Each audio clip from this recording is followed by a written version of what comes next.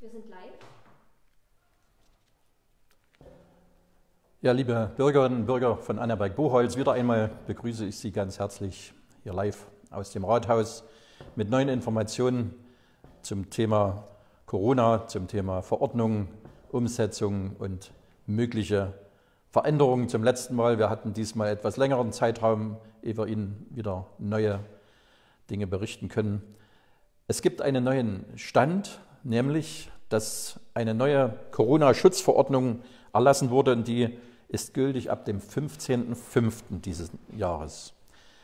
Was sich nicht geändert hat, sind die Kontaktbeschränkungen mit geringfügigen Ausnahmen. Aber das wichtigste Thema bei allen Lockerungen, von denen wir sprechen und die ich Ihnen dann vielleicht im Einzelnen noch etwas näher bringen möchte, auch was das für unsere Stadt bedeutet, ist die Einhaltung von den Hygieneregeln.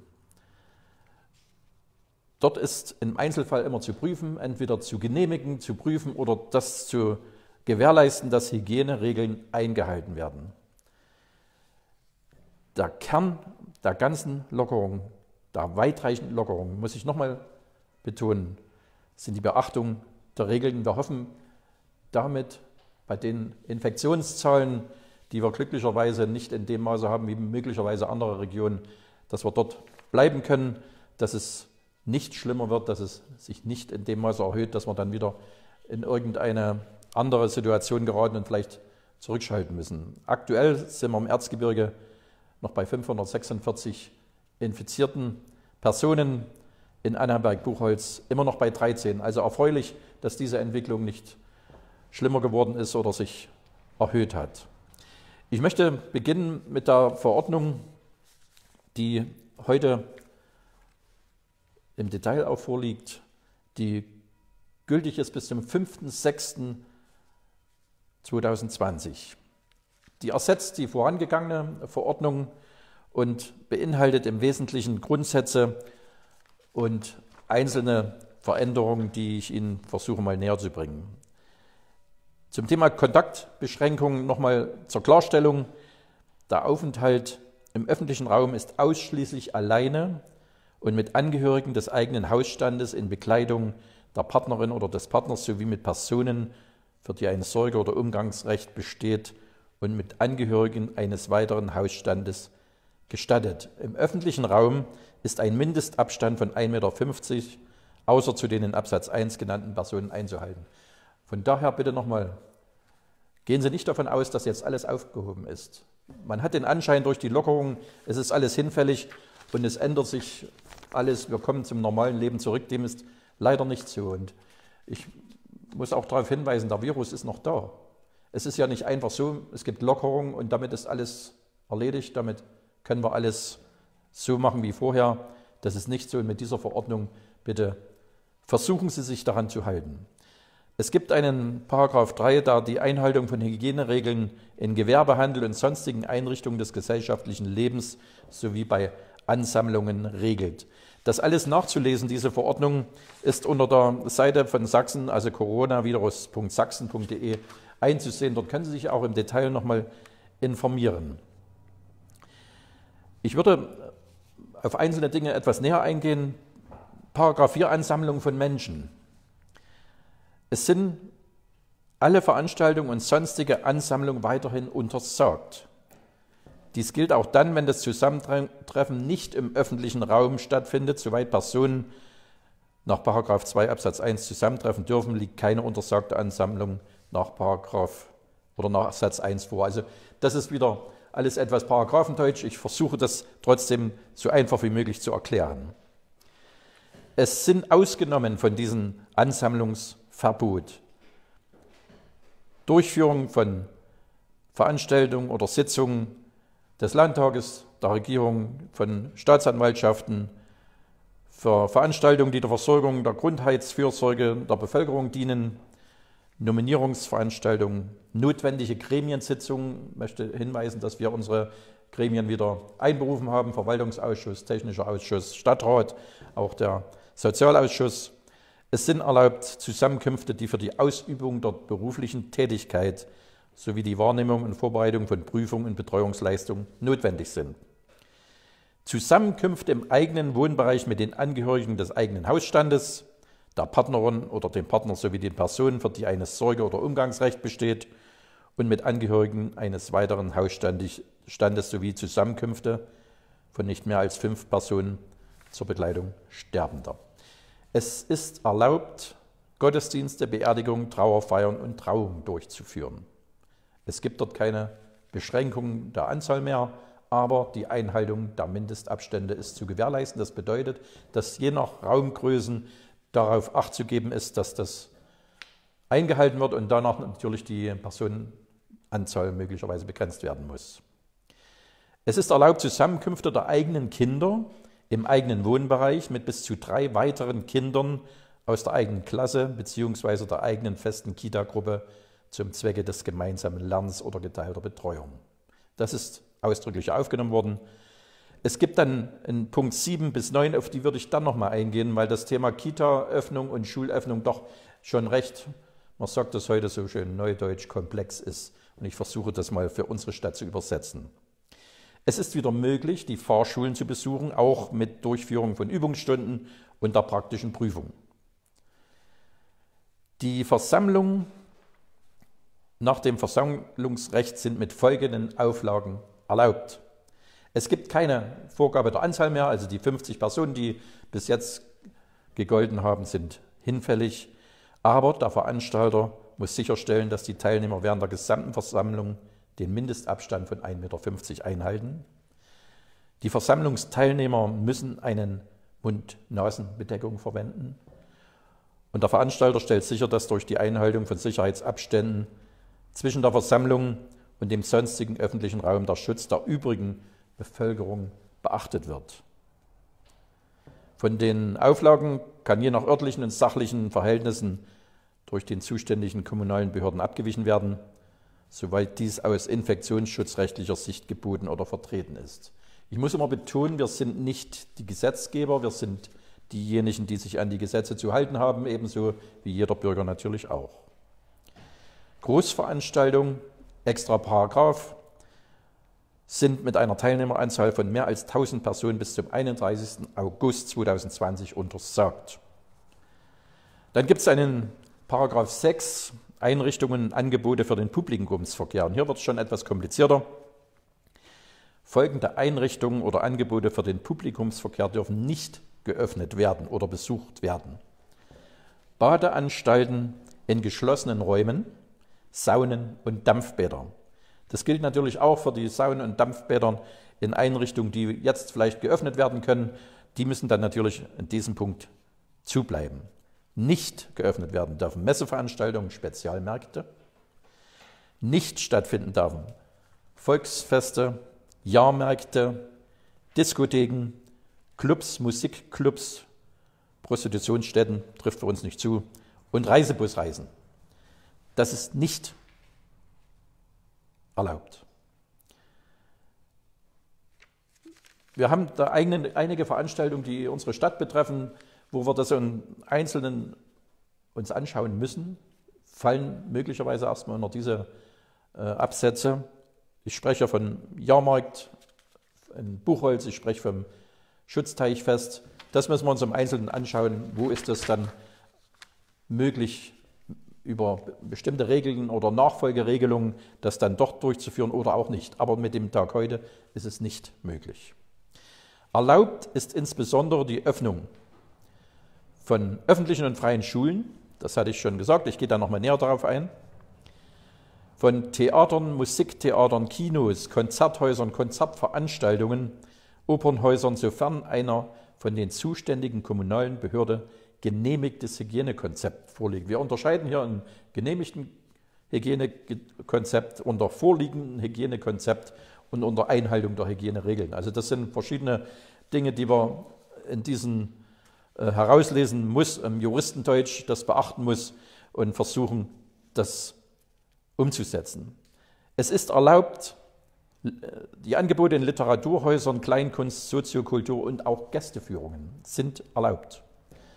Gedenkständen, Fachbibliotheken, Archive, Museen, Ausstellungen, Außenanlagen von Tierparks dürfen wieder öffnen. In den geschlossenen Räumen ist unbedingt eine Mund-Nasen-Bedeckung zu tragen. Es sind wieder zu öffnen oder die Möglichkeit zu öffnen Hochschulen und Berufsakademie, die Einrichtungen der Kita-Betreuung, Handwerksbetriebe, auch Seniorentreffpunkte dürfen wieder öffnen, natürlich unter den angegebenen Schutz.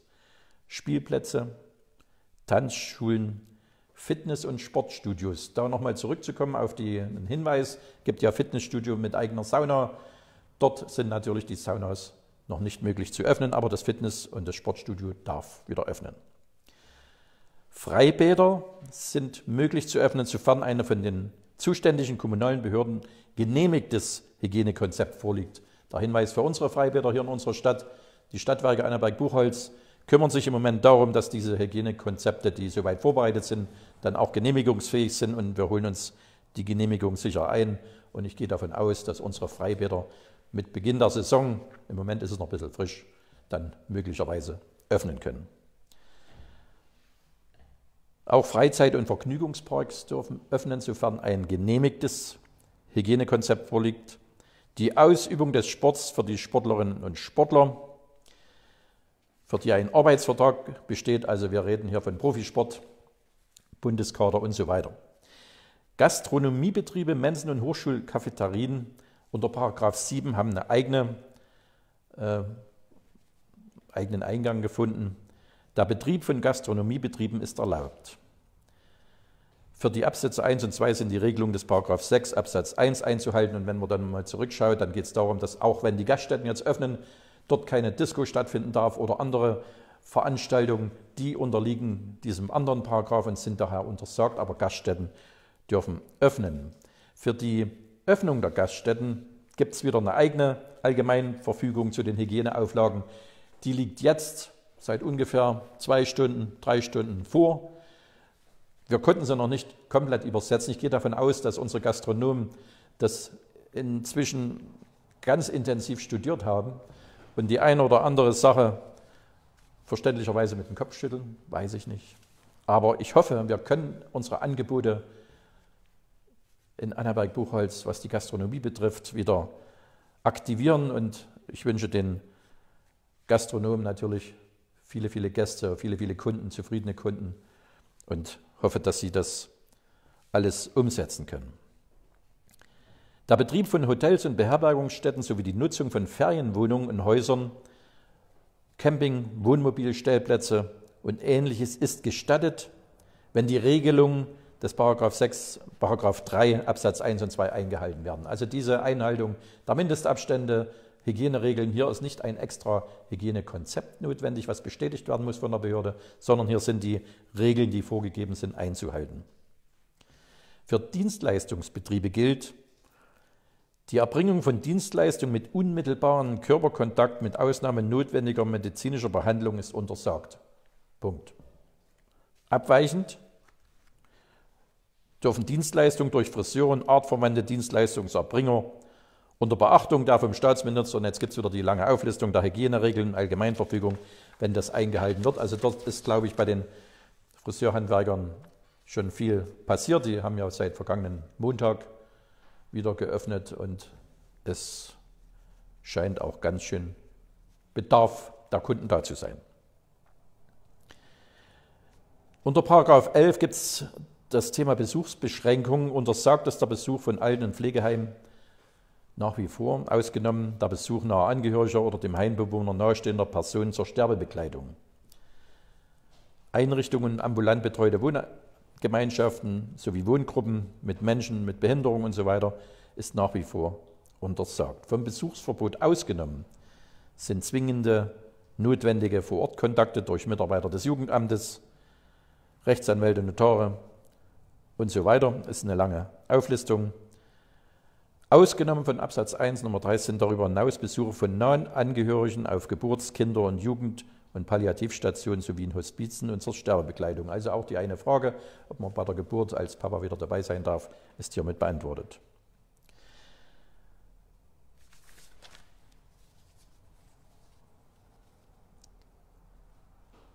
Das Staatsministerium für Soziales und gesellschaftlichen Zusammenhalt kann durch Allgemeinverfügung Ausnahmen von den Besuchsverboten nach Absatz 1 zulassen und Hygienevorschriften erlassen.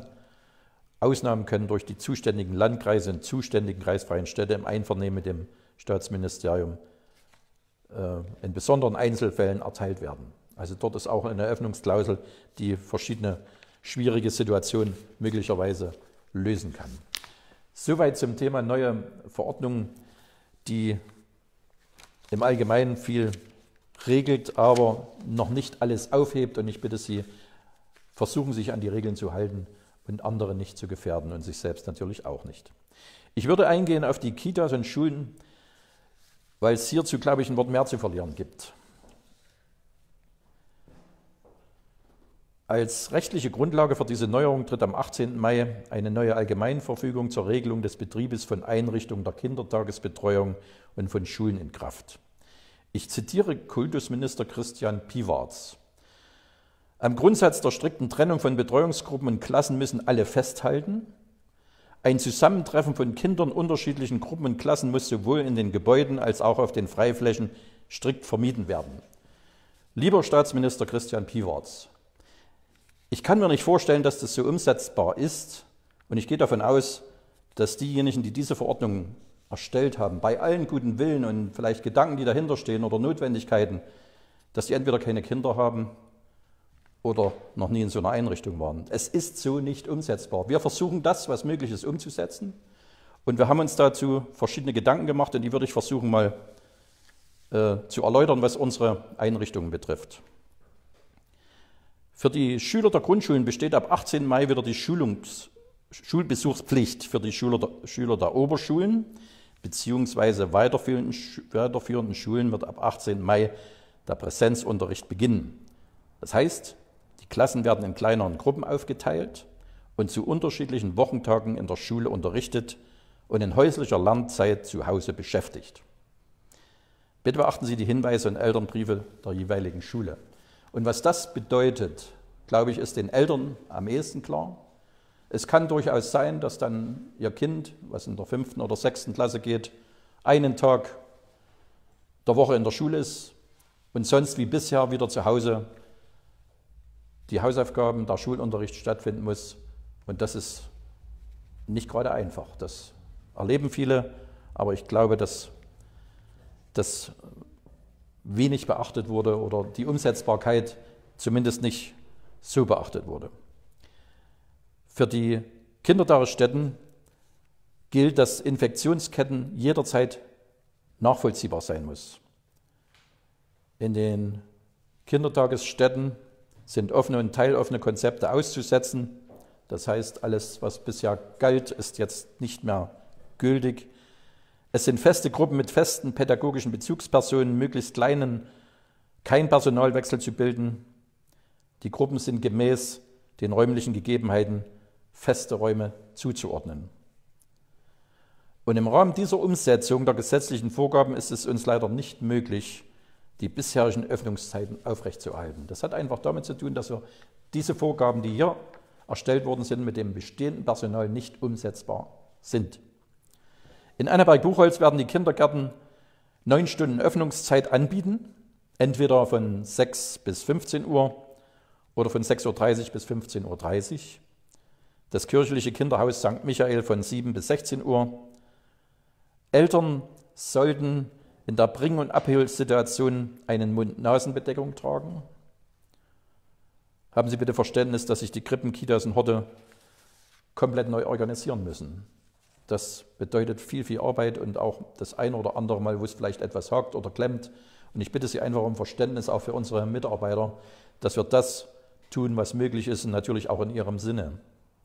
Für die Horte gilt, die Zusammensetzung des Klassenverbandes ist so weit als möglich bei der Bildung der Hortgruppe zu berücksichtigen. Auch hier gilt strenge Trennung der Gruppen in allen Bereichen mit konstantem Betreuungspersonal. Das bedeutet kein Frühhort in den städtischen Horten, und Ende der Betreuungszeit ist 16 Uhr. Im Rahmen der Umsetzung der gesetzlichen Vorgaben ist es nicht möglich, also das, was ich bereits gesagt habe, die bisherigen Öffnungszeiten aufrechtzuerhalten, aufgrund der ganz spezifischen Bestimmungen zum Personaleinsatz, den gibt es ja auch noch, können wir leider keinen Frühhort mehr anbieten. Wir sind uns der enormen Belastung der Familien bewusst und wir können nur um Verständnis bitten und noch ein bisschen Geduld Sobald wir irgendeine Möglichkeit sehen und sich die gesetzlichen Vorgaben ändern, werden wir das natürlich sofort anpassen. Bitte beachten Sie auch hier die Hinweise und Elternbriefe der jeweiligen Einrichtung und scheuen Sie sich auch nicht bei uns anzurufen im Fachbereich Soziales. Ja, äußerst komplizierte Situation und ich hoffe, ab Montag geht es trotzdem so reibungslos wie möglich, sodass Sie Ihre Kinder in die Betreuung bringen können. Unsere Mitarbeiter, unsere Erzieher, die Leiter der Einrichtung tun ihr Bestes, ihr Möglichstes, dass das alles funktioniert und wir alles wieder halbwegs normal geregelt bekommen. Ich kann mir vorstellen, dass dort viele Fragen sind, viele Unklarheiten, wie das umgesetzt werden soll, wie das funktionieren soll, ob das mit der eigenen Arbeit zusammenhängt oder auch die Abgabetermine, wie das geregelt wird vor, dem, vor der Einrichtung oder auch sonst. Stelle ich mir schwierig vor. Wir versuchen es. Dann habe ich noch zwei Informationen. Unser Brunauer Hammer bereitet die Wiedereröffnung vor. Der Hammerwirt wird am kommenden Wochenende die Gaststätte Frohnauer Hammer wieder eröffnen und in der Folgewoche von Donnerstag bis Sonntag die Gäste begrüßen. Jetzt am Wochenende von 11 bis 20 Uhr. Wir haben in den letzten Tagen vor allem Arbeiten im Bereich der Grünflächenpflege vorgenommen und so viele Plätze wie möglich auch im Außenbereich angerichtet und hergestellt, sodass dort möglichst viele Gäste Platz nehmen können. Auch für das Museum laufen die Vorbereitungen zur Wiedereröffnung und für den Himmelfahrtsdonnerstag ist diese Wiedereröffnung geplant. Es gibt einen Hygieneplan mit detaillierten Vorgaben. So wird es für die Besucher möglich sein, alle Gebäude zu betreten, allerdings nur in einer Größenordnung von insgesamt jeweils acht Gästen pro Gebäude gleichzeitig. Abstandsregelung ist einzuhalten. Auch der Hammer wird wieder in Betrieb sein. Eine weitere Meldung, die ich bekommen habe vom Adam-Ries-Museum, das wird ja vom Adam-Ries-Bund betrieben. Auch dort gibt es wieder die Öffnung. Es gelten die regulären Öffnungszeiten Dienstag bis Freitag von 10 bis 16 Uhr und Samstag von 12 bis 16 Uhr. Und wir bitten natürlich auch hier um Verständnis für die Hygienemaßnahmen, Abstände, Mund-Nasen-Bedeckung und so weiter. Das waren die Informationen, die ich fürs Erste habe. Jetzt gibt es noch die Antworten aus dem letzten Livestream. Da fragt Frau Engelstetter, wann macht das Arbeitsamt wieder auf?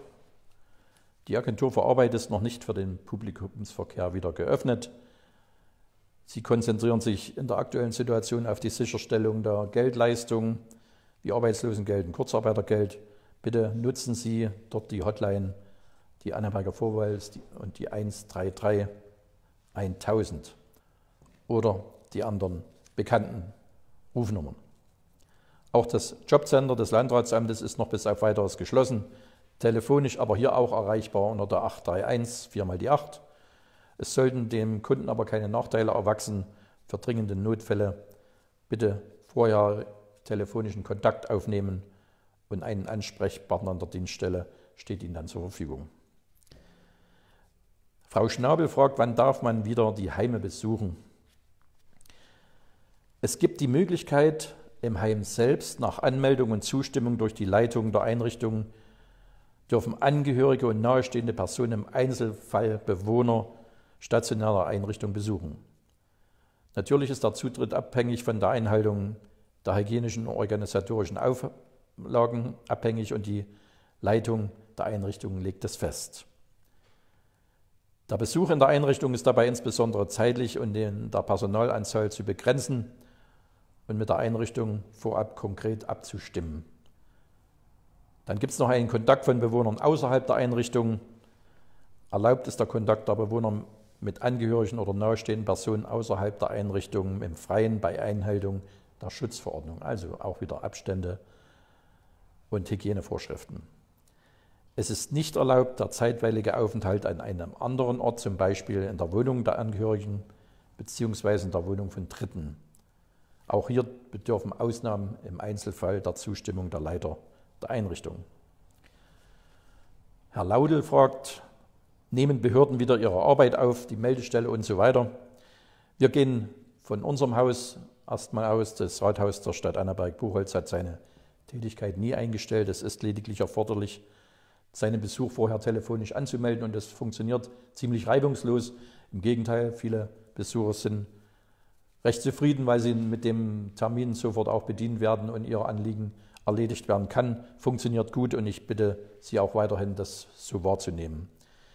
Für die übrigen Behörden kann von Seiten der Stadt natürlich keine Auskunft, verbindliche Aussage getroffen werden.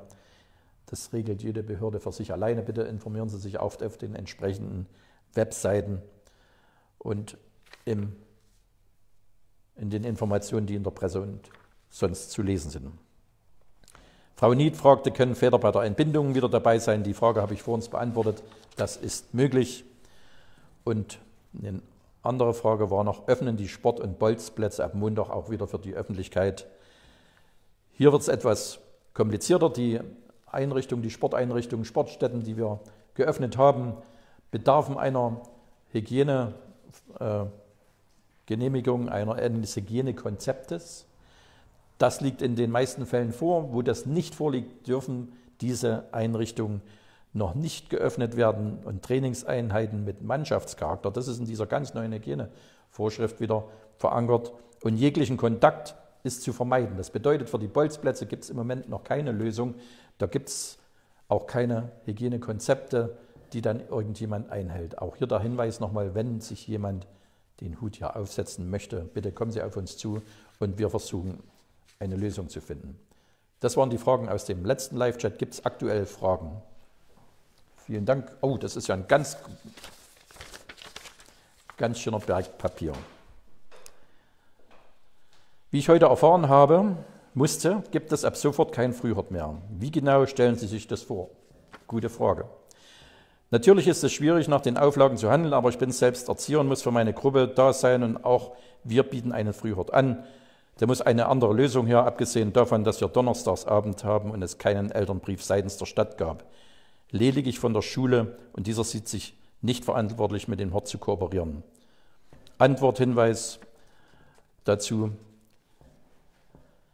Der Elternbrief aktuell ist auch auf der Homepage der Stadt zu finden. Wir haben einen Elternbrief geschrieben. Natürlich mussten wir warten, bis alles das, was vorgegeben ist, auch bei uns vorlag. Das sind die Entscheidungen, die heute getroffen wurden. Und ich bitte Sie einfach um Verständnis, das habe ich vor uns erläutert. Die Umsetzbarkeit ist äußerst schwierig und das ist die Lösung, die wir momentan anbieten äh, können. Und ich hoffe, Sie haben dafür Verständnis, auch wenn die Antwort möglicherweise jetzt nicht befriedigend ist. Auch die zweite Frage, eine Frage zur Frühhortbetreuung. Auch hier eine Erzieherin steht vor einem riesengroßen Problem, wohin mit meinem Kind. Es wäre schön, wenn dafür eine Lösung gefunden wird, denn ich stehe mit diesem Problem nicht alleine da. Wir werden das im Fachbereich natürlich besprechen, wenn es für ein Einzelproblem eine, eine Lösungsmöglichkeit gibt, dann suchen wir danach. Wir werden das natürlich äh, dann Ihnen mitteilen. Ich hoffe, die Kontaktdaten sind vorhanden, sodass wir versuchen, da eine Lösung zu finden. Dürfen Trödelmärkte zum Beispiel auf dem Ketplatz stattfinden? Nein, nach wie vor nicht. Das ist geregelt mit diesen Jahrmärkten und Sondermärkten noch nicht möglich. Gibt es schon eine Regelung für die Schulfähigkeitsuntersuchung, die noch keine hatten? Frage in die Runde. Das ist eine Kompetenz des Landkreises. Wir haben dazu noch keine Informationen, würden uns aber darum kümmern, hier an nächster Stelle Ihnen eine Antwort geben zu können. Also kann ich Ihnen momentan nicht beantworten. Kann man wieder mit Freunden Geburtstag feiern in den eigenen Wohnungen? Natürlich kann man das, aber unter Einhaltung der Zahlen. Schauen Sie nach, ich habe das vor uns aufgelistet, was möglich ist mit in anderem Hausstand noch dazu oder mit Kindern, das geht. Wie sieht es im Kulturbereich aus? Vereinsarbeit, Ausstellungen und Kurse, das ist geregelt in dieser neuen Verordnung. Das darf wieder stattfinden unter bestimmten Voraussetzungen, unter bestimmten Bedingungen. Hygieneregeln sind einzuhalten, teilweise Konzepte zu genehmigen, teilweise einzureichen und teilweise eben einfach nur einzuhalten. Also das ist wieder möglich. Habe ich das richtig verstanden, dass Nahangehörige im EKA besucht werden können? Mit Abstimmung im EKA. Wir, die Antwort von vorhin oder die Information von vorhin betraf Pflegeeinrichtungen, aber betrifft natürlich genauso das Krankenhaus oder das EKA. Bitte setzen Sie sich mit dem EKA in Verbindung nach Abstimmung mit der Leitung dort sind Besuche möglich. Aber wir können natürlich an dieser Stelle nicht sagen, dass das dann für Sie zutrifft, dass das bei Ihnen möglich ist. Hängt immer von den Bedingungen ab, die dort gerade herrschen oder wie das dort geregelt ist. Weiß man schon, wann die Sauna im Atlantis wieder aufmachen darf? Bis 5. Juni leider nicht.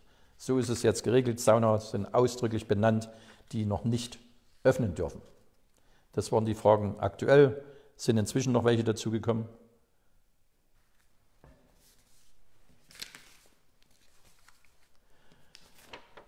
Ich habe zwar noch eine ganze Menge Papier hier liegen, aber ich glaube, das reicht erstmal, was ich Ihnen mitzuteilen hatte. Ich würde heute schließen mit dem Zitat, nämlich Zitat von Frank-Walter Steinmeier. Trotzdem traue ich mich zu behaupten, dass unter den Gesichtspunkten des Virusschutzes der vielleicht manchmal unbequeme und lästige Mundschutz empfehlenswerter ist als der Aluhut. In diesem Sinne einen angenehmen Abend.